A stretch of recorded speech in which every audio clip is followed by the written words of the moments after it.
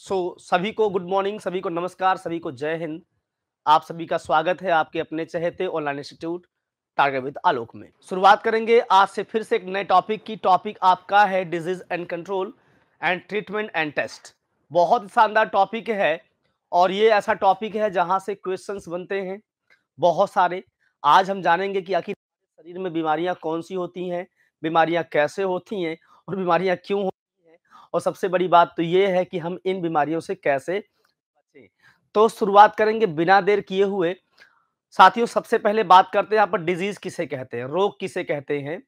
देखिए, अगर डिज़ीज़ की बात करूँ तो कहते हैं कि जब हमारे शरीर में कोई बाहरी कारक, कोई बाहरी जीवाणु, कोई बाहरी पैथोजन इत्यादि कोई घुस जाए तो हमारे शरीर की दक्षता घट जाती है।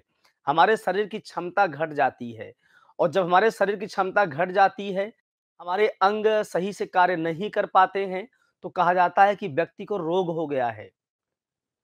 ठीक है, और अगर देखा जाए तो रोग कई प्रकार से होते हैं डिज़ीज़ कई टाइप के होते हैं। जैसे कि ऐसे डिजीजेस जिनका जिनका इफ़ेक्ट एक बहुत ही बड़े एरिया पर होता है, बहुत लंबे समय तक होता है तो ऐसे डिज़ीज़ को हम कहते हैं पेंडेमिक महामारी कहते हैं। आप जान रहे कोविड नाइन्टीन है, महामारी था। कोलेरा कई बार महामारी बन करके आया इबोला महामारी बन करके आया। तो जब किसी बीमारी का प्रकोप एक लंबे क्षेत्र पर लंबे समय तक होता है तो हम उस बीमारी को पेंडेमिक कहते हैं। और अगर यही, अगर किसी बीमारी का प्रभाव एक छोटे क्षेत्र पर हो, कम समय के लिए हो तो हम इसको महामारी कहते दोस्तों एपेडेमिक कहते हैं। ठीक है? और ये तो अलग बात हो गई, लेकिन डिज़ीज़ की जो परिभाषा है हम आप सभी से इसके बारे में आज कुछ अलग बात करेंगे। साथियों डिज़ीज़ प्राय देखा जाता है कि दो प्रकार से होते हैं। एक ऐसे डिज़ीज़ एक ऐसे रोग जो बच्चे में जन्म के पहले ही हो जाते हैं। मतलब बच्चा पैदा नहीं हुआ है, उस बच्चे में रोग निर्धारित हो चुका है।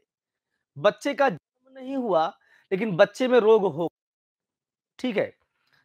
तो ऐसे डिजीजेस कहलाते हैं, जिसमें बच्चे का बच्चा पैदा भी नहीं हुआ बॉर्न नहीं हुआ बट उसमें डिज़ीज़ हो चुका है।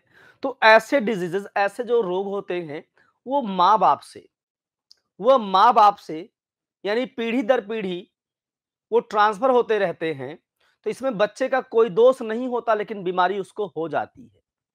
कुछ बीमारियाँ ऐसी भी होती हैं, जो जो जन्म के बाद होती हैं।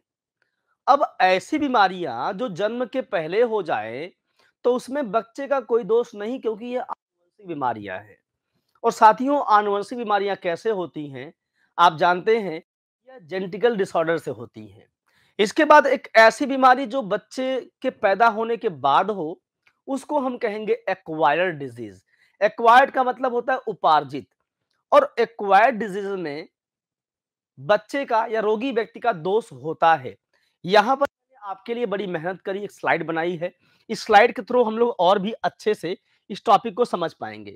तो ध्यान से आप देखें सभी लोग, रोग दो प्रकार का, एक है कॉन्जेनाइटल डिज़ीज़ है और एक क्वाइड है दोस्तों। यहाँ जो जन्मजात रोग होते जन्म से पहले हो जाते हैं, इसमें व्यक्ति का कोई दोष नहीं होता, जैसे कि आनुवंशिक रोग। और वहीं अगर उपार्जित रोग की बात करूँ मैं आप सभी से तो उपार्जित रोग हमेशा जन्म के बाद होते हैं। ये जन्म के बाद होते हैं और इन सब रोगों में व्यक्ति का दोष होता है। क्योंकि मान लीजिए अगर मैं बाहर निकला, मुझे किसी वायरस ने पकड़ लिया, किसी बैक्टीरिया ने पकड़ लिया, ठीक है? तो इसमें मेरा दोष है। मेरे हाथ गंदे, मैं गंदे हाथ से खाना खा लिया और मुझे कोई बीमारी हो गई, इसमें मेरा दोष है, ठीक है? तो जिसमें व्यक्ति का दोष हो, जिसमें रोगी व्यक्ति का दोष हो, उसको हम कहते हैं उसको हम कहते हैं एक्वायर्ड डिज़ीज़ और एक्वायर्ड डिजीजेस को दो भागों में डिवाइड कर दिया गया है। एक जो छुआछूत से फैलते हैं और एक जो छुआछूत से नहीं फैलते हैं। अगर देखा जाए तो छुआछूत से फैलने वाली जो बीमारियाँ होती हैं, उनको हम कहते हैं संक्रामक बीमारियाँ इनफेक्शियस डिज़ीज़ तो जो संक्रामक बीमारियाँ होती है, वो हमेशा रोगी व्यक्ति से स्वस्थ व्यक्ति की ओर आती है। मान लीजिए, अभी कोई व्यक्ति है और यह व्यक्ति इसको इसको मान लीजिए जुकाम हुआ है, ठीक है ना? जुकाम हुआ है, काफ़ी कोल्ड से पीड़ित है और मैं इसके पास गया, इससे हाथ मिलाया, इसके साथ उठा बैठा, गले मिला, खाना पीना हम लोग खाए, ठीक है ना? इसका मैंने कपड़ा इस्तेमाल कर लिया। तो अब क्या होगा? अब इस रोगी व्यक्ति से क्या होगा? मैं स्वस्थ था। अब इसका जो जुकाम बुखार था, वो आ गया मेरे अंदर, वो आ गया मेरे अंदर। तो जो छुआछूत से बीमारियाँ फैलती हैं, जो टचेबिलिटी से फैलती हैं तो उनको हम कहते हैं कि ये होती है infectious like virus bacteria protozoa worm और फंगस से होने वाले डिजीजेस। ये सभी कैसे होते सभी, इन सभी को हम कहते हैं इन्फेक्शियस डिज़ीज़, क्योंकि ये टचेबिलिटी से फैलते हैं। इसके बाद एक है नॉन इन्फेक्शियस अब जो नॉन इन्फेक्शियस है, इसको हम कहते हैं असंक्रामक। अब नॉन इन्फेक्शियस क्या है? असंक्रामक क्या है? एक बार हम इसके बारे में बात करेंगे। ये ऐसी बीमारी होती है जो रोगी व्यक्ति से स्वस्थ व्यक्ति को नहीं जाती है। मतलब इसमें क्या है? अगर किसी को रोग हुआ है, किसी को बीमारी हुई है उसके पास बैठो खाना पीना खाओ, उसके साथ हाथ मिलाओ, गले मिलो, संबंध रखो तो ऐसे में ये बीमारियाँ आपको नहीं होंगी। जस्ट लाइक like अगर किसी को पोलियो हुआ, अगर किसी को गठिया हुआ है उसके पैर में, गठिया होता है जब हमारी हड्डियों में, मांसपेशियों में यूरिक अम्ल जमा होता है तो अगर किसी को गठिया हुआ है, आप जाइए उस व्यक्ति की सेवा कीजिए तो गठिया कभी आपको नहीं होगा। ये सपोज़ करो अगर किसी को लकवा मार गया है, पैरालिसिस हुआ है और उस व्यक्ति की आप सेवा करोगे तो कभी भी नेवर, आपको कभी पैरालिसिस नहीं होगा। या अगर मान लीजिए, किसी व्यक्ति को हार्ट अटैक आया हुआ है और जाके उसको पानी पिलाओ, उसके साथ रहो, उसकी देखभाल करो तो कभी भी आपको हार्ट अटैक नहीं आएगा वापस, ठीक है ना? ये बात ध्यान देना सभी लोग। तो ये असंक्रामक रोग है, छुआछूत से कभी नहीं फैलते हैं ये एक्सपेंड नहीं करते हैं टचेबिलिटी से। एंड जैसे गठिया, कैंसर, हिस्टीरिया, बहुत सारी बीमारियाँ इसमें होती हैं। हिस्टीरिया भी यहाँ एक ऐसा रोग है। हिस्टीरिया ऐसी बीमारी है, जिसके बारे में कहते हैं कि ये अविवाहित महिलाओं के अंदर होता है। और जब हिस्टीरिया होता है तो उन अविवाहित महिलाओं में, लड़कियों में एक चिड़चिड़ापन देखा जाता है या बेहोशी बार बार किसी भी बात पर गुस्सा होना, नाराज़ होना, ये सब सिम्टम आते हैं। और सबसे बड़ी बात यह कि हिस्टीरिया एक ऐसा साइकोलॉजिकल डिसऑर्डर है जिसका अभी तक कोई ट्रीटमेंट नहीं आया है। बट लोग कहते हैं या ऐसे जो मेडिकल साइंस में जो साइंटिस्ट वो कहते हैं कि हिस्टीरिया एक मनोवैज्ञानिक रोग है साइकोलॉजिकल डिसऑर्डर होता है जिसमें शादी के बाद विवाह के बाद आफ्टर द मैरिज ये अपने आप सही हो जाता है। अब इसका रीजन क्या है? आई डोंट नो बट ये ऐसा होता है। अब यहाँ पर हम स्टार्टिंग करेंगे। आ, सबसे पहले दोस्तों बात करेंगे आनुवंशिक रोग की कि कैसे कैसे फैलते हैं फिर बात करेंगे हम लोग वायरस बैक्टीरिया, प्रोडोवा, क्रीमी, इन सबसे फैलने वाली बीमारियों के बारे में, ठीक है? तो आप लोग ध्यान से देखते रहें। तो अगर देखिए, बात करी जाए यहाँ सबसे पहले तो सबसे पहले हम बात करेंगे यहाँ पर आनुवंशिक रोग के बारे में। अब यहाँ पर कुछ मैं आपको ट्रिक बताऊँगा। जैसे लगभग लगभग यहाँ से 30-40 डिज़ीज़ ऐसे हैं, जो आप करने यहाँ से जो क्वेश्चन बनते हैं, वो वन लाइनर बनते हैं, कि निम्नलिखित में से कौन सी बीमारी वायरस से होती है। तो हमें वो अगर आएगा, जब हम ट्रिक के थ्रू इसको याद किए रहेंगे तो बहुत आसानी से क्वेश्चन कर लेंगे कि कौन सी बीमारी वायरस से फैल रही है, कौन सी कवक से और कौन सी जीवाणु से। तो यहाँ पर न याद करने वाला या यहाँ पर न समझने वाली कोई चीज़ नहीं है। बहुत अच्छे से आप समझ सकते हो।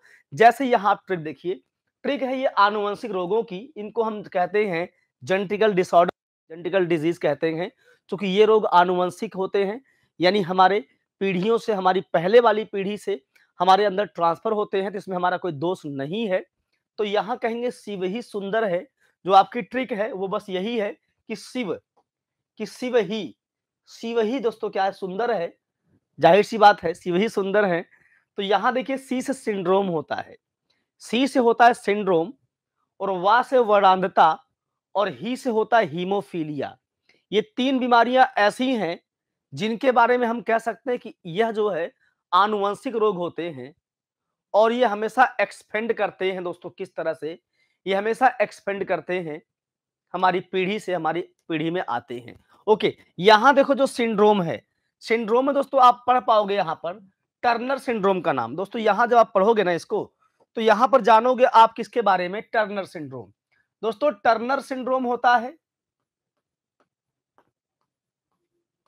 ये महिलाओं के अंदर बाजपन Klinefelter syndrome Klinefelter syndrome पुरुषों के अंदर नपुंसकता, पटाऊ सिंड्रोम इसमें बच्चों के ऊपर वाले होठ कटे होते हैं, जब पैदा होते हैं वो। एक डाउन सिंड्रोम है, इसको हम कहते हैं डाउन सिंड्रोम इसको दोस्तों हम कहते हैं मंगोलिज्म। इसमें एक्चुअली में क्या होता है, जो बच्चा पैदा होता है थोड़ा सा उसका सर बड़ा होता है होंठ मोटे होते हैं आँखें बहुत छोटी छोटी होती हैं है ना दोस्तों? इसको बोलते हैं मंगोलिज्म। जैसे मंगोलिया के लोग होते हैं ना वैसे ही इसमें व्यक्ति दिखाई देता है। सो so, दोस्तों यहाँ देख लीजिए इसके बाद देखिए आप सभी लोग वर्णांता दोस्तों इसमें क्या होता है? कलर ब्लाइंडनेस है। इसमें रेड और ग्रीन में डिफरेंट जो रेड और ग्रीन कलर होता है इसमें हम डिफरेंट नहीं कर पाते बिकॉज़ कि जो हमारी आँखों में फोटोसीन होता है, उनकी उनका जो है अमाउंट दोस्तों घट जाता है। और जानते हैं, हमेशा ये बीमारी इसमें महिलाएँ कैरियर होती हैं मतलब वाहक होती अगर ये बीमारी महिलाओं के अंदर है तो महिलाओं में कोई इफ़ेक्ट नहीं आता इस बीमारी का। बट अगर ये महिलाओं जब पुरुषों में आती है ना तो पुरुषों के अंदर इसका प्रभाव दिख जाता है, ये ऐसी बीमारी होती है। ओके, देन इसके बाद देखो हीमोफीलिया। साथ ही हीमोफीलिया क्या है? यह भी एक आनुवंशिक रोग होता है अगर मैं आप सभी से हीमोफीलिया की बात करूँ तो हीमोफीलिया भी छुआ सॉरी, दोस्तों यह भी आनुवंशिक बीमारी होती है।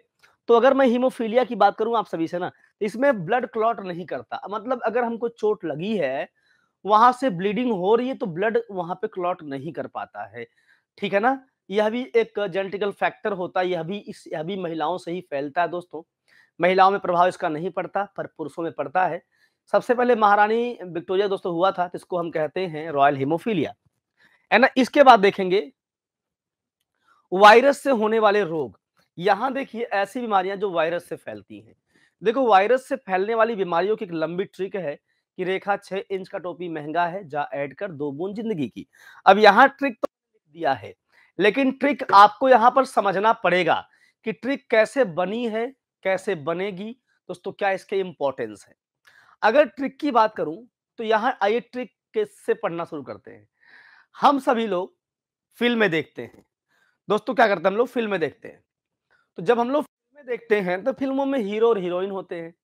ये हर फ़िल्म होता है। और हीरो और हीरोइन अपनी जोड़ी में दोस्तों काम करते हैं। ठीक है ना? साथ ही हमेशा जोड़ी में काम करते हैं वो। जब वो जोड़े में काम करते हैं तो फ़िल्में काफ़ी हिट होती हैं। है कि नहीं दोस्तों? फ़िल्में काफ़ी हिट होती हैं। तो ऐसी जोड़ी बहुत मान लीजिए अभी गोविंदा, करिश्मा कपूर, गोविंदा गोविंदा रवीना, काजोल शाहरुख, आपके भोजपुरी में बहुत जोड़ियाँ होती हैं। तो ऐसे एक, ऐसा पेयर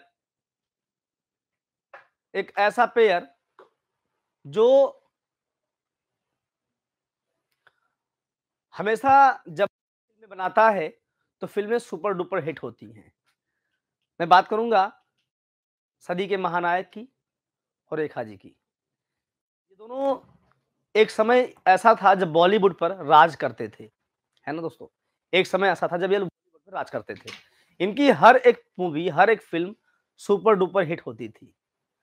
तो हुआ ये कि एक बार ये फ़िल्म की शूटिंग करने के लिए, भाई देखो ज़ाहिर सी बात है, जब फ़िल्में हिट होंगी तो लोगों के बीच दूरियाँ कम होंगी, है ना? मतलब नजदीकियाँ बढ़ेंगी। और खासकर फ़िल्मों में तो ऐसा होता है। आप देखिए ऐसे बहुत सारे एक्टर, एक्ट्रेस हैं, जो ऐसे शादी कर चुके हैं। क्यों? क्योंकि उनकी फ़िल्म जब हिट होती है ना तो उनकी जोड़ी काफ़ी फ़ेमस होती है। जब जोड़ी फ़ेमस होती है तो शादी कर लेते हैं आपस में। तो ऐसे ही हुआ। अमिताभ जी और रेखा जी, ये लोग की फ़िल्में सुपर हिट हो रही थी तो काफ़ी नजदीकियाँ बढ़ गई थी इनमें। एक दूसरे की केयरिंग बढ़ गई थी, है ना? मान जान बढ़ गया था। तो एक बार फ़िल्म की शूटिंग करने के लिए दोनों लोग गए स्विट्जरलैंड। वहाँ हमेशा बर्फ़ पड़ती है। मेरी मेरी कहानी को समझोगे तो बहुत अच्छे से आपको ये समझ में आएगा टॉपिक है ना? और बिना कुछ किए इसको याद कर लोगे। तो रेखा जी और अमिताभ गए शूटिंग करने स्विट्जरलैंड वहाँ शूटिंग स्टार्ट हुई। तो रेखा जी, देखो स्विट्जरलैंड लैंड एक ऐसा प्लेस है, जहाँ हमेशा बर्फ़ गिरती रहती है, जहाँ हमेशा बर्फबारी होती रहती है। तो फ़िल्म की शूटिंग स्टार्ट हुई। अमिताभ की शूटिंग थी, अमिताभ का शूट था, वो शूटिंग करना शुरू कर देते हैं बाहर खुले में। और रेखा जी आराम से छतरी लगा करके बैठी हुई हैं। उनको बहुत ध्यान से देख रहे हैं टुकुर टुकुर देख रही है। शूटिंग चल रही है। अमिताभ जी शूटिंग कर रहे हैं तो बर्फ़ गिर रही है। और तीन चार घंटे हो गया शूटिंग करते करते अमिताभ ने जीन्स पहना हुआ है, जैकेट पहना हुआ है, सब कुछ पहना हुआ है। शूटिंग चल रही है, बट उनके कान खुले हुए हैं। जब कान खुला हुआ है तो कान में ठंड लग रही है। अब एक घंटा की बात हो तो कोई दिक्कत नहीं तीन चार घंटे हो गए तो अमिताभ कांपने लगे ठंडी के मारे। अब जो है अमिताभ को कांपता देख या या जो है टेंशन में देख या परेशान देख रेखा जी को देखा नहीं गया। वह भी परेशान है वह भी टेंशन में हो गई। अब मान लो अभी आप ही परेशान रहोगे, आपको कोई दिक्कत रहेगी, तो आपके घर वाले नहीं पूछेंगे, बाबू खाना खा लो, दवाई खा लो या फिर मतलब ढंग से रहो। तमाम भाई लोग केयर करते हैं, आप लोग भी केयर करते होंगे लोगों का, है कि नहीं? तो वही हुआ, तो यहाँ पर रेखा जी एकदम बिल्कुल परेशान हो गई, टेंशन में आ गई, क्या करें अब? तो जब शाम का वक़्त आया, शूटिंग खत्म हुई, तो शूटिंग खत्म होने के बाद शाम के समय क्या हुआ कि कि रेखा जी अमिताभ को लिवा गई एक शॉपिंग मॉल में, कहाँ पर? स्विट्ज़रलैंड में। एक शॉपिंग मॉल में लिवा गई और वहाँ रेखा जी ने क्या किया, अमिताभ बच्चन के लिए सॉरी अमिताभ के लिए क्या किया, एक बहुत ही प्यारा, बहुत ही महँगा बड़ा ही मन से 6 इंच का इतना लंबा टोपी पसंद किया। ये, लाइक दिस कंटोप। तो कंटोप पसंद किया। कितना? बहुत ही महँगा बहुत ही महँगा और उनको बहुत अच्छा लग रहा था और 6 इंच का। तो ये टोपी देख करके अमिताभ जी पसंद उनको पसंद नहीं आई क्योंकि वो फैंसी आदमी थे। जैसे ही टोपी देखा उन्होंने, उनका मुँह बन गया। पसंद नहीं आई। सपोज़ करो अगर मान लो कोई आपको गिफ्ट दे इतना ही प्यार से, समझ सकते हैं आप लोग, बहुत तमाम गर्लफ्रेंड बॉयफ्रेंड का मामला चल रहा है। अगर मान लीजिए कोई आपको गिफ्ट दे ऐसे और आप कह दो कि पसंद नहीं है। क्योंकि भाई गिफ्ट वगैरह आदमी बड़े प्यार से देता है। अब मान लो कोई आपकी जो है जीएफ हो, कोई गर्लफ्रेंड आपकी हो, आपको गिफ्ट दे और आप कहो कि अरे पसंद नहीं है। तो अगर शहर की होगी ना, तो गिफ्ट तुम्हारे ऊपर फेंकेगी और पैर पटक करके भाग जाएगी। लेकिन अगर गाँव की होगी ना, तो कहेगी म मामा चूल्ही भरसाई में जाओ, तुमसे हमका मतलब नहीं है, ठीक है ना? ऐसे, तो वही हुआ। अमिताभ को टोपी पसंद नहीं आता है। अमिताभ ने कहा रेखा छ इंच का टोपी महँगा है। कहा 6 इंच का टोपी महँगा है, मतलब पसंद नहीं आया। इतना सुनते ही रेखा हो गई आग बबूला। रेखा ने कहा, "हट जा।" कहा, "जा ऐड कर, तू यही कर सकता है।" जैसे अमिताभ ने कहा रेखा 6 इंच का टोपी महँगा है, अमिताभ ने कहा जैसे अमिताभ ने कहा रेखा 6 इंच का टोपी महँगा है, रेखा तुरंत गुस्से में आ गई, एकदम आग बबूला हो गई। कहा, "जा, जा ऐड कर, 2 बूंद ज़िंदगी की। जा उसी खुले में ऐड कर अपना, खुले में शूटिंग कर, दो बूंद ज़िंदगी वाली।" उस समय अमिताभ जी पोलियो वाला वही ऐड करते थे कि 2 बूंद ज़िंदगी की। ठीक है दोस्तों? यही हुआ। चलो, अब देखो यहाँ पर इसी से हम लोग बनाएँगे कि रेखा 6 इंच का टोपी महँगा है। तो रेखा ने क्या बोला? जा ऐड कर दो बूंद ज़िंदगी की। देखो रे से क्या होता है? रे से रेबीज है, हाइड्रोफोबिया, कुत्ते काटने से होता है और इसके उपचार के लिए तो दोस्तों जो टीका बनाया गया था, वह एंटी रेबीज था रविपुर, बनाया था दोस्तों लुई पास्चर साहब ने। खा से खसरा होता है, मिजल्स छ छोटी माता, चिकन पॉक्स होता है, दाने पड़ जाते हैं पूरी बॉडी पर, वेरिसेला वायरस से होता है। इनसे है influenza, H one H five N one H one N one okay दोस्तों, आगे देखिए चेचक है, इसको बोलते हैं स्मॉल पॉक्स। इसमें क्या होता है? इसमें पूरी बॉडी पर पूरी बॉडी पर बड़े-बड़े लाल दाने पड़ जाते हैं। इसमें बुखार बहुत अधिक होता है और चेचक का जो टीका है एडवर्ड जनरल साहब ने बनाया था। आगे का से कोविड, कोविड के बारे में आप परिचित होंगे, ये कितनी खतरनाक और कितनी जानलेवा बीमारी है, इसके बारे में हम कुछ कह नहीं सकते। एंड आगे दोस्तों बढ़ेंगे हम सभी लोग, तो टो से है ट्रोकमा। टो से ट्रोकमा दोस्तों होता है, ये आँखों में होता है और पी से पीलिया है, पीलिया आप जानते हैं जॉन्डिस है। जॉन्डिस कैसे होती है? जॉन्डिस होती है लीवर में बिलिरुबिन के अ, की मात्रा बढ़ जाने से, ठीक है ना? तो हमें ज्वाइंडिस मतलब पीलिया होती है, इसको कामला बोलते हैं। आगे देखिए म से मेनिंजाइटिस है, ध्यान रखना मेनिंजाइटिस बैक्टीरिया से भी होती है, वायरस से भी होती है। तो दोस्तों मेनिंजाइटिस है, इसको बोलते हैं मस्तिष्क का बुखार। जब मेनिंज जब हमारे ब्रेन की मेनिंज झिल्ली में स्वेलिंग होती है, तब जाकर के होता है मेनिंजाइटिस। आगे ह से हर्पीज है, हरपीज एक यौन रोग है, इसमें जननांगों में घाव बन जाता है। आगे गा से गलसुआ दोस्तों, गलसुआ मम्स वायरस से फैलता है, यहाँ हमारी सबसे बड़ी लाल ग्रंथि होती है, इसको हम कहते हैं पैरोटिड। इसी पैरोटिड ग्रंथि में स्वेलिंग आ जाने से गलसुआ होता है, जीवन में एक ही बार होता है, बट अगर आपको एक बार हो चुका है, तो सेकेंड टाइम फिर नहीं होगा। जा से है जापानी इंसेफ्लाइटिस, जापानी इंसेफ्लाइटिस एक मॉस्किटो के काटने से होता साथियों एक्चुअली में एंसेफ्लाइटिस मॉस्किटो होता है। जब वह काटता तो जापानी बुखार होता है जापानी इंसेफ्लाइटिस को बोलते हैं हम सभी लोग। आगे देखिए ए से एड्स है तो जा ऐड कर तो जा सी हो गया। ए से एड्स है। आप जानते हैं acquired immunodeficiency syndrome HIV virus से फैलता है और ये हमारे लिम्फोसाइट पर साइड पर अटैक करता है और अटैक करके पूरी बॉडी को पूरी बॉडी को नष्ट कर देता है। और इसके उपचार के लिए होता है एलाइजा टेस्ट। दोस्तों, एलाइजा क्या होता है? एंजाइम लिंक्ड इम्यूनोसॉल्वेंट ऐसे इसके बाद डस डेंगू। डेंगू फैलता है Aedes aegypti tiger female mosquito से। ओके? और इसकी काट ये हो जाने से हमारी बॉडी के अंदर प्लेटलेट इनकाउंट बहुत डाउन हो जाता है। प्लेटलेट घट जाता है, जिससे कि हमारी बॉडी के अंदर ब्लड क्लॉट नहीं करता। आँख, नाक, कान से ब्लड बाहर निकलता है। पोलियो, ये होता है पोलियोमाइटिस वायरस से। पोलियो, हालाँकि हम मुक्त हो चुके हैं, बट कभी कभी देखा जाता है दोस्तों। और अगर मैं पोलियो की बात करूँ, पोलियो ऐसा रोग है जिसमें हमारे जिसमें हमारे बॉडी के जो अंग है, बॉडी पार्ट है, हाथ, पैर या फिर हमारा ब्रेन है, इनका विकास रुक जाता है, ये अल्प विकसित रहते हैं। ओके तो ये रहा वायरस से होने वाले रोग। देन हम आगे बढ़ेंगे और साथियों, बात करेंगे जीवाणु, यानी बैक्टीरिया से होने वाले रोगों की। तो ट्रिक क्या है? हे सिमरन, में टीबी और डीवीडी का प्लग टिका दूँ। अब इस ट्रिक को हम लोग एक्सप्लेन करेंगे और इसके बारे में जानेंगे कि आखिर ऐसा क्यों अगर मैं आप सभी से बात करूँ जीवाणु से होने वाले रोगों की तो मेरी बात को ध्यानपूर्वक अच्छे से सुनिएगा और अच्छे से समझ करके आगे बढ़िएगा। जैसे कि बैक्टीरिया बैक्टीरिया से जीवाणु से कौन कौन से डिजीजेस फैलते हैं। देखिए, ये आप जानते हैं मैंने कई जोड़ियों के नाम लिए थे। मैंने कहा था उसमें काजोल और शाहरुख खान। काजोल और शाहरुख की एक मूवी आई थी 1994 में। उस मूवी का बहुत चर्चित एक डायलॉग था, जा सिमरन, जी ले अपनी ज़िंदगी। आप सबको याद होगा। सबने याद किया होगा इसको। तो उस समय की मैं बात करूँगा 1994 का एक सीन है उसी मूवी का, जिसके बारे में थोड़ी बात करूँगा आप सभी से और सीन समझाऊँगा और किस प्रकार से उसमें काजोल और शाहरुख बात कर रहे थे आपस में, इसकी बात करूँगा। तो 1994 की बात है, उस मूवी में सिमरन जो है बैठ करके टीवी देख रही हैं। बिकॉज़ उस समय इतना मल्टीमीडिया इतना एंड्रॉयड फ़ोन नहीं थे लैपटॉप नहीं थे, इतने जो है सिनेमाज नहीं थे। तो उस समय क्या था? टीवी और डीवीडी थी।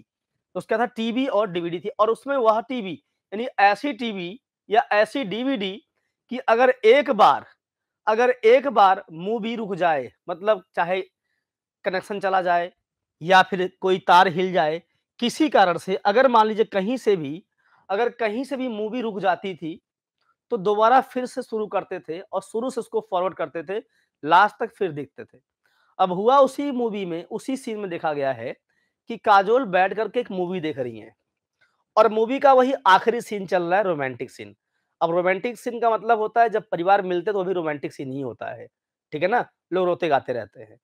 हर हर रोमांटिक का मतलब रोमांटिक नहीं होता वो वाला। तो रोमांटिक सीन चल रहा है, उसमें काजोल उसमें काजोल बहुत अच्छे से बैठ करके एकदम मूवी देख रही है। एकदम अच्छे से मूवी देख रही है। अब मूवी देख रही है, मूवी चल रही है।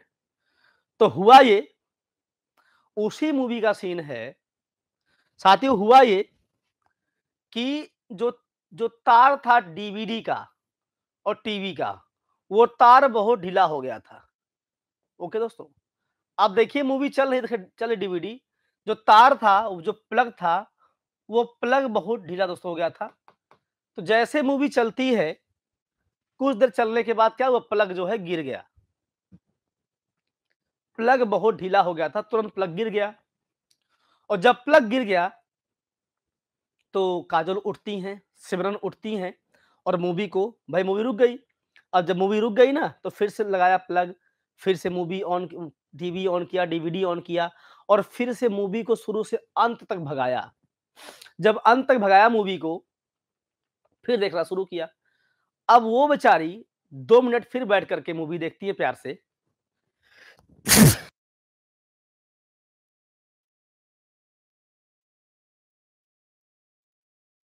तो वो जो है, दो मिनट मूवी देखती है प्यार से और दो मिनट चलने के बाद फिर से क्या हुआ? फिर से मूवी फिर से प्लग हिल गया और मूवी बंद हो गई। बेचारी गुस्साती है क्या हो गया? उठती है फिर से। उठने के बाद फिर लगाती है प्लग फिर टीवी डीवीडी ऑन करती हैं, फिर भगाती हैं अंतिम तक और फिर देखना शुरू करती हैं। और फिर तीन चार मिनट चलने के बाद फिर से क्या हुआ? फिर से मूवी रुक गई। अब लो भैया। साथियों, फिर से मूवी रुक गई और जब फिर से मूवी रुक गई ना इस बार तो बेचारी बहुत झल्ला गई। लेकिन कोई बात नहीं है, इतना परेशान हो गई। अब सिमरन के पीछे राज खड़े थे, शाहरुख खान खड़े थे। अब बताओ, क्या जब सिमरन परेशान हो गई, झल्ला गई तो सिमरन को देख करके क्या राज नहीं परेशान होते? तो सिमरन को देख करके राज भी परेशान। मतलब सिमरन को देख करके राज भी परेशान मतलब शाहरुख खान भी परेशान। तो शाहरुख खान ने क्या कहा? मतलब अब जो है उनको परेशान देख करके शाहरुख खान से राज से देखा नहीं जा रहा है। तो राज ने कहा क्या बोला? कि, ए सिमरन, जैसा बोलते हैं, ए सिमरन, मैं टीवी और डीवीडी का प्लग टिका दू? मतलब उनसे तो टिक नहीं रहा था, बार बार गिर जा गिर जा रहा था। तो राज ने कहा कि, हे सिमरन, मैं टीवी और डीवीडी का प्लग टिका दूँ? तो वही ट्रिक है। जो प्लग बार बार गिर रहा था, उसी को टिकाने की बात चल रही है। मैं टीवी और डीवीडी का प्लग टिका दू? देखो, वही देखो। है से है हैजा कोलेरा। साथियों, है से हैजा होता है, कोलेरा होता है। यह भी एक खतरनाक बीमारी होती है बिब्रियो कॉलेरा से फैलता है। उसके बाद सिफिलिस। साथियों ये भी क्या है? एक एसटीडी होता है sexual transmitted disease after the marriage after the sex sex के बाद होता है जननांगों में घाव बन जाना। आगे देखिए मेनिनजाइटिस है, मस्तिष्क का बुखार मैंने कहा था, दोनों से होता है। रेनबो ट्राउट इसमें दोस्तों हाथ पैर में कंपन ऐसे होता है रेनबो ट्राउट में। आगे निमोनिया निमोनिया आप जानते हैं डिप्लोकोकस निमोनी से फैलता है। इसका प्रभाव हमारे रेस्पिरेटरी ऑर्गन पर पड़ता है, निमोनिया का। और आगे दोस्तों मैं से मियादी बुखार, जिसको हम बोलते हैं टाइफॉइड म्यादी बुखार है टाइफॉइड है टाइफॉइड होता है सल्मोनेला टाइफी से फैलता है। और इसका प्रभाव हमारी आरबीसी पर होता है दोस्तों। ठीक है ना? आगे देखिए क्या है? आगे है। अच्छा हाँ टाइफाइड को हम कहते हैं आंत का बुखार। आंत का बुखार या दोस्तों ये ऐसा होता है जो हमारी आंत को प्रभावित करता है। आगे देखिए टीबी है। टीबी इसको हम बोलते हैं यक्षमा तपेदिक बोलते हैं। माइकोबैक्टीरियम ट्यूबरक्लोसिस से फैलता रॉबर्ट कोच ने इसकी खोज की थी। इसका प्रभाव भी रेस्पिरेटरी ऑर्गन पर पड़ता है आज। सबसे अधिक अगर कोई व्यक्ति मर रहा है किसी बीमारी से तो वह टीबी है। इसके बाद दोस्तों आगे दिया है डिप्थीरिया डिप्थीरिया क्या होता है? डिप्थीरिया एक श्वसन रोग है, जिसका प्रभाव हमारे श्वसन अंगों पर दोस्तों होता है। ये होता है कोरिन बैक्टीरियम डिप्थेरी से फैलता है, आगे है भोजन। बीस दोस्तों क्या है? बीस है, देखो। अब यहाँ हे से हैजा और सी सिमरन मा से मेनिंजाइटिस रा से ट्राउट न से निमोनिया मै से मियादी बुखार, टीवी से टीवी दोस्तों और साइलेंट है। डी से डिप्थीरिया और बी से भोजन विषाक्तता, फ़ूड पॉइजनिंग। साथियों, ये फैलता, इसको बोलते बॉटुलिज्म साथियों, एक ऐसी बीमारी होती जिसमें दूषित भोजन करने से पूरी बॉडी अकड़ जाती है और व्यक्ति की मृत्यु भी हो सकती है। आगे, साथियों, आगे का से काली खांसी है, इसको बोलते हैं हुपिंग कप जो काली खांसी साथ इसको बोलते हैं हुपिंग कप अगर मैं हुपिंग कप की बात करूँ तो इसमें कुत्ते जैसे खांसने की आवाज़ निकलती है। फैलता है हीमोफिलस परटोसिस से। दोस्तों, आगे देखिए टी से टिटनस है। अगर टिटनस की बात करिए दोस्तों तो टी से टिटनस है। अगर टिटनस की बात करूँ मैं तो ये एक ऐसी बीमारी होती है साथियों। ये एक ऐसा रोग होता है, जिस, जिसको बोलते धनुष संकार, इसको लागजा भी बोलते यह भी जानलेवा होता है। आगे का से कुष्ठ रोग है। कुष्ठ रोग मतलब लेप्रोसी। यह होता दोस्तों कैसे? यह साथियों फैलता है माइकोबैक्टीरियम लेपरी से, खतरनाक बीमारी होती है। और लेप्रोसी आज कल धीरे धीरे खत्म हो रही है। इसके लिए रिफेमिसिन डेप्सोन इत्यादि बहुत हाई क्वालिटी की एंटीबायोटिक का इस्तेमाल किया जाता है। ओके दोस्तों तो ये रहा जीवाणुओं से होने वाले रोग। एंड अगर हम आगे बढ़ें तो ऐसे ही कुछ रोग होते हैं जो फैलते प्रोटोजोआ से। प्रोटोजोआ मतलब प्रोटिस्टा, जैसे कि अमीबा पैरामीसियम है ना? ऐसा कुछ। तो प्रोटोजोआ से कौन कौन सी बीमारियाँ फैलती हैं? मुझे आशा है कि आप सभी को यहाँ कुछ नया सीखने को मिल रहा होगा और आप सभी को अच्छे से चीज़ें याद हो रही होंगी। पूरी ईमानदारी से आप सभी लोग बात को मेंशन कर सकते हैं कि आपने पहली बार इस तरह से पढ़ा है या फिर आपको आसानी से याद हो रहा है। देखो, अब हम आगे बढ़ेंगे। प्रोटोजोवा से होने वाले रोग, जैसे कि अमीबा है, या दोस्तों एंट अमीबा है या फिर दोस्तों इसमें जो है, तमाम चीज़ें होती हैं, प्लाज्मोडियम होता है। तो देखो, जैसे मान लीजिए कहते हैं, यहाँ ट्रिक क्या है? पापा मैकल सो गया। अब पापा मैं कल सो गया कि मैं बात कर रहा हूँ आप सभी से हुआ ऐसा कि आपके पापा देखो आप शहर में रहते हैं आप शहर में रहकर पढ़ाई करते हैं दोस्तों आप कहाँ रहते हैं? आप रहते हैं शहर में और साथियों शहर में रहकर पढ़ाई करते हो। तो हुआ ये कि आप जब घर पे पहुँचे ना, अब देखो शहर में क्या था, शहर में आप दो बजे तक पढ़ते थे रात में, 2 पीएम तक, 2 एम तक। अब साथियों हुआ क्या कि आपके फादर ने कहा आपसे कि बेटा सुबह एक काम है ठीक पाँच बजे। एक अंकल आएँगे आपको पैसे देंगे और उनसे पैसे लेकर रख लेना, नहीं तो वो अंकल चले जाएँगे दोबारा फिर नहीं आ पाएँगे अब हुआ ये आपने कहा डन है पापा, मैं रहूँगा आई विल। तो हुआ क्या कि आप दो बजे आपको हैबिट थी सोने की, आप दो बजे आप सोए और दुर्भाग्य से उठना था आपको कितने बजे? पाँच बजे। लगाया आपने अलार्म, लेकिन दो बजे तक आप पढ़े नहीं थे, मूवी देखे थे। तो आपके मोबाइल की बैटरी हो गई डाउन। जब तक जब तक 5 बजा उसके पहले मोबाइल ऑफ़ हो गया और जब फ़ोन ऑफ़ हो गया तो अलार्म बजा ही नहीं और जब अलार्म बजा ही नहीं तो आप उठ कहाँ पाए? आप उठे नौ बजे। वो जो अंकल आए थे वो आए और चले भी गए। आप उठे नौ बजे और जब नौ बजे आप उठते हैं ना तो आपके फादर ने पूछा, पैसे ले लिए? तो आपने क्या बोला? जब फादर ने कहा अंकल से मिले, तो आपने क्या बोला कि पापा मैं कल सो गया। पापा मैं कल सो गया और जैसे इतना सुना आपके पापा ने, उनका नुकसान हो गया। तो क्या पापा आपकी आरती उतारेंगे कि बड़ा अच्छा काम करके आए बेटा, ले तुम्हारी आरती उतारे? पापा तुरंत गुस्सा हो गए, मार लाठी-लाठी एकदम सही कर दिए। यहाँ देखो पा से क्या होता है? पा से पायरिया होता है। पायरिया का प्रभाव हमारे गम्स पर होता है, वहाँ से पस निकलता है, पानी निकलता है और मुँह से दुर्गंध आती है। आगे पास पेचिस है। दोस्तों पास पेचिस है। पेचिस एक ऐसी व्याधि है, पेचिस एक ऐसा रोग है, जिसमें कहते हैं कि हमारी आंतें प्रभावित होती हैं, मल के साथ रक्त निकलता है। आगे मलेरिया, मलेरिया कई कारकों से होता है, प्लाज्मोडियम वाइवैक्स है, प्लाज्मोडियम मलेरी है, प्लाज्मोडियम ओवेल है, ठीक है ना? अब अगर हम बात करें यहाँ पर मलेरिया के बारे में, तो मलेरिया एक ऐसा रोग है, एक ऐसी व्याधि है जिसमें बहुत कपकपी होती है, तेज बुखार आता है, पूरी बॉडी के अंदर दर्द होता है और मलेरिया देखो हमेशा अलग प्रकृति का आता है। कभी ये पर डे आएगा, शाम को आएगा या फिर साथियों कैसा होता है या फिर जब ये आता है ना, तो दो दिन बाद आता है या पर डे शाम को आएगा या दो दिन बाद आएगा या या जो है हफ़्ते भर बाद आता है। तो मलेरिया कई प्रकार से फैलता है। कहता रहा प्लाज्मोडियम वाइवैक्स है, प्लाज्मोडियम ओवेल है, प्लाज्मोडियम मलेरी है, तो कई तरह से होता है।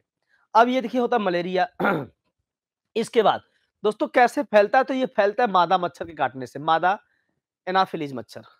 आगे है कल से काला आज़ार। काला आज़ार जिसको हम कहते हैं डमडम बुखार। डमडम बुखार ये फैलता है बालू मक्खी यानी सैंड फ्लाई जिसको हम सिक्टा फ्लाई भी कहते हैं। जो जो सिक्टा फ्लाई होती है, सैंड फ्लाई होती है, तो सैंड फ्लाई के काटने से काला आज़ार फैलता है। इसको काला अचार मत बोल देना, काला आज़ार ये सैंड फ्लाई दोस्तों होता है। बाकी देखिए सो गया, इसको बोलते हैं निद्रा रोग। इसको कहते हैं निद्रा रोग यानी इसको हम बोलते हैं स्लीपिंग डिज़ीज़। ये ऐसी बीमारी होती है जिसमें पूरी बॉडी में अकड़न रहती है, पूरी बॉडी दर्द करती है और हम लोग खूब सोते हैं, दबा के सोते हैं। इसको हम बोलते हैं स्लीपिंग डिज़ीज़, निद्रा रोग। आगे साथियों देखिए यहाँ पर देखिए अब ये कैसे फैलता है? ये फैलता है सीसी मक्खी से, सी सी मक्खी से। दोस्तों ये फैलता है सीसी फ्लाई से, है ना? इसके बाद देखो आगे। अब नेक्स्ट साथियों नेक्स्ट क्या है? कवक जनित रोग यानी ऐसी बीमारियाँ जो फंगस से फैलती हैं, जो फंजाई से होती हैं। अगर फंजाय से होने वाली बीमारी की बात करें तो आप फंगस जानते हैं इसको फफूद कहते हैं। फंगस को फफूद कहते हैं, कवक भी कहते हैं। यहाँ पर जो फफूद है इनसे क्या-क्या फैलता है, क्या-क्या रोग इनसे होता है, इसकी हम बात करेंगे। देखिए आप हम सब तैयारी करते हैं, तैयारी करने के दौर में कभी-कभी सिलेक्शन बहुत विलंब से होता है, तो डेफ़िनेटली हम लोगों के बाल तक पक जाते हैं, बाल तक निकल जाते हैं। कई लोग ऐसे होते हैं ना जो बीच से गंजे जाते हैं। लेकिन नौकरी मिल जाने के बाद शादी का कोई मानक नहीं होता है। अगर आप गंजे हैं या छोटे हैं, बड़े हैं, मोटे हैं, काले हैं, बाल पक गए हैं, तब भी शादी होगी और दुल्हनिया बड़ी सुंदर मिलती है ऐसे लोगों को। लोग कहते हैं, मैं तो ऐसे बस बोल रहा हूँ। तो तो अब मान लीजिए एक व्यक्ति थे, वो तैयारी करते थे और उनको सफलता जब जब उनको नौकरी मिली, तब तक उनके बाल यहाँ से पूरा सपासट गायब हो गए थे। लेकिन नौकरी मिलने के बाद शादी जब उनकी लगी, तो विग लगाया और विग लगा कर के अ, सब कुछ हो गया, तिलक बरक्षा सब कुछ हो गया, शादी भी हो गई और शादी के बाद जो प्रोसेस होता है, विदाई हुई, सब कुछ हुआ, ठीक है। अब शादी के एक साल के बाद उनको बुलाया गया ससुराल में। अब वो टकले हैं इसके बारे में केवल उनकी बीवी जानती थी, ससुराल पक्ष से और कोई जानता नहीं था। वो व्यक्ति गया ससुराल में अपने, उनको बुलाया गया कि आइए आपका खातिर भाव करते हैं और बड़ा खुश हुआ, कोट पैंट टाई पहना, अच्छे से बढ़िया इसको कोबरा परफ्यूम मार के एकदम लगा के फेयर लवली निकल गया ससुराल की तरफ़। और जब पहुँचा ससुराल में, तो वहाँ पर खूब लोग बातचीत किए, खातिर भाव शुरू हुआ, मार रसगुल्ला रसगुल्ला तोड़ रहा है, फ्रूट्स खा रहा है, सब कुछ खा रहा है। अच्छा वहाँ पहुँचने के एक घंटे बाद एक प्रजाति थी, घर में साली नाम की वो आती है। तो साली हमेशा जीजे को परेशान करती हैं। हुआ ये कि वहाँ पर भी एक साली थी और बेचारे वो जो है जो गए ससुराल गए थे, कोबरा परफ्यूम मार करके, लगा के फेयर लवली और मस्त बैठ करके सेब दबा खा रहे हैं, फ्रूट खा रहे हैं कड़ाकड़। सेब खा रहे हैं, बैठे आराम से मुस्कुरा रहे हैं। मतलब मने-मन मुस्कुरा रहे और सेब खा रहे हैं। तब तक साली पीछे से आती और हाँ, वो टोपी लगाए थे उस समय। चूँकि गंजे थे, टोपी लगाए थे, बिग था नहीं। अब भाई कितना विग लगाएँगे तो भैया क्या हुआ कि बीवी बीवी तो अंदर थी, सब लोग अंदर थे। साली आती, ज़ोर से मारती टक से, उनकी टोपी उड़ गई और जैसे टोपी उड़ी, तुरंत खाली खलिहान सामने आ गया। देखती है, साली कहती, "हाँ, गंजा दामाद।" कहती, "हाँ, गंजा दामाद" और ऊपर से खाए फ्रूट। गंजा दामाद, खाए फ्रूट, ये किसने कहा? साली ने कहा। तो देखो भैया, गंजा दामाद खाए फ्रूट, गंजा से गंजापन, दमा से दमा होता है, द से दाद है, खा से खाज है और ए से है एथलीट फ़ूड। तो गंजा दामाद खाए फ्रूट, ग से गंजापन, द से दमा, द से दाद, खा से खाज, ए से एथलीट फ़ूड। ये ऐसे रोग हैं, ये ऐसी व्याधियाँ हैं, जो कवक से फैलती है। जो गंजापन है ना, बाल्डनेस, ये जिसको हम रूसी बोलते हैं, एक्चुअली वो फंगस होता है। दमा, ये अस्थमा का रूप है। इसमें हमारी जो एल्बुलाई होती हैं, वो ब्लॉक हो जाती हैं, जिससे हमारे फेफड़े सही से वायु ग्रहण नहीं कर पाते। दोस्तों दाद है, त्वचा पर होता है, रिंग वम उसको बोल देते हैं हम लोग। खाज है, सफ़ेद दाग दोस्तों एथलीट फ़ूड। ये ऐसी बीमारी होती है जो महिलाओं के कोमल अंगों मतलब जैसे जो हाथ-पैर के बीच जो कोमल अंग है वहाँ। तो कहते हैं जो एथलीट फुट होता है ना, ये महिलाओं में हाथ-पैर के जो कोमल अंग यहाँ दोस्तों होते हैं उँगलियों के बीच, यहाँ फैलता है, यहाँ पे उनको सड़न हो जाती है। इसको हम बोलते हैं एथलीट फ़ूड साथियों। तो ऐसा देखिए रोग होता है। अब इसके बाद देखिए कुछ टेस्ट और दोस्तों कुछ टेस्ट है, उसके बारे में हम लोग बात कर लेते हैं, है ना? फटाफट से। और दोस्तों टेस्ट कौन-कौन से हैं? सारी बातें करेंगे। जैसे कि अब यहाँ जब किसी को दोस्तों डेंगू होता है, तो डेंगू के लिए कॉर्निकोएट टेस्ट होता है। डिप्थीरिया के लिए क्या है? सिक टेस्ट है और लाल फीवर दोस्तों उसके लिए डिक टेस्ट होता है। अगर किसी की आँखों में समस्या है, तो उसके लिए होता है आपका जो है sclera test, colour vision. Histamine test होता है कुष्ठ रोग के लिए और इसके बाद एचबी-1एसी टेस्ट होता है मधुमेह के लिए। ट्रेडमिल टेस्ट होता है हृदय के बारे में जानकारी के लिए, कि हृदय चल रहा है। गोल्ड क्वांटिफेरॉन दोस्तों क्षय रोग के लिए होता है। आगे है वाइडल टेस्ट, टाइफाइड दोस्तों के लिए होता है। आगे है हैंगिंग ड्रॉप टेस्ट, ये कालरा के लिए होता है। बरो इंक टेस्ट, तो दोस्तों ये स्कैबीज के लिए होता है। एलिसा परीक्षण दोस्तों एड्स के लिए होता है। RT PCR, reverse transcription polymerase chain reaction, ये दोस्तों कोविड के लिए होता है, है ना? मेंटॉक्स टेस्ट ये क्षय रोग के लिए। तो गोल्ड क्वांटिफेरॉन और मेंटॉक्स, ये दोनों किस लिए दोस्तों? दोनों होते हैं क्षय रोग के लिए। एंड आगे बढ़ते हैं, यहाँ देख लो आप सभी लोग। आगे है रोग संबंधित टीका, मतलब जो वैक्सीनेशन होती है, वैक्सीन की खोज कौन-कौन का किया है? तो चेचक का है एडवर्ड जेनर, कोलेरा का है लुई पास्चर, टिटनेस है डिप्थीरिया तो बेहरिंग ने किया हुआ है, रुबेला का रूबेला ने किया हुआ है, क्षय रोग का, टीबी का किया हुआ है कालमेट ग्लूरिन साहब ने, खसरा का थॉमस पीबल ने किया है, रेबीज का लुई पास्टर ने किया हुआ है, पोलियो का जॉन साल ने किया हुआ है, थायराइड का राइट ने किया हुआ है, निमोनिया का स्मिथ ने किया है, काली खांसी का वार डेडोस किया हुआ है एंथ्रेक्स का लुई पास्टर ने, साथ ही इन्फ्लुएंजा का जॉन साल्क ने, मम्स का दोस्तों हिस्टामिन ने, चिकन पॉक्स का ताका हासी ने मेनिंजाइटिस का स्मिथ साहब ने किया हुआ है। ये प्रमुख जो है वैक्सीन है और इनकी खोज किसने की है? यह भी आपने देख लिया है। देखो, यहाँ से आपके एग्जामिनेशन में इससे ऊपर क्वेश्चन कभी नहीं बन सकते हैं। ठीक है ना? यानी कौन सी बीमारी किस कारण से हो रही है? कौन बैक्टीरिया है? कौन वायरस है? कौन फंजाई है? कौन सा प्रोटोजोआ है, मैंने इतना बता दिया और हर बीमारी का इफ़ेक्ट कहाँ कहाँ होता है, ये भी हमने बातों बातों में कर लिया है। प्लस इन बीमारियों के जो टीके हैं वैक्सीनेशन इनकी होती है, उनकी खोज किसने की हुई है? और इसके बाद कहते हैं वैक्सीन के बाद हमने देखा अभी यहाँ पर कि टेस्ट क्या होता है इसके लिए। जो अलग अलग टेस्ट होते हैं, परीक्षण होते हैं, जैसे एलाइजा है मैंटॉक्स है RT PCR reverse transcription polymer chain reaction होता है ये। आरटीपीसीआर है एच बी वन सी है, ये सब बहुत इंपॉर्टेंट है। और इन सबसे क्वेश्चन भी बनते हैं। तो साथियों, आप सभी लोग इस टॉपिक को अच्छे से नोट कर लीजिए स्क्रीनशॉट लेकर के। ये हमेशा जब भी आप किसी एग्ज़ाम में बैठेंगे तो हर एग्ज़ाम के लिए ये आपके लिए रामबाण साबित होंगे। तो आप सभी प्यारे साथियों को फिर से नमस्कार, फिर से जय हिंद। जहाँ रहिए, हँसते रहिए, अच्छे रहिए।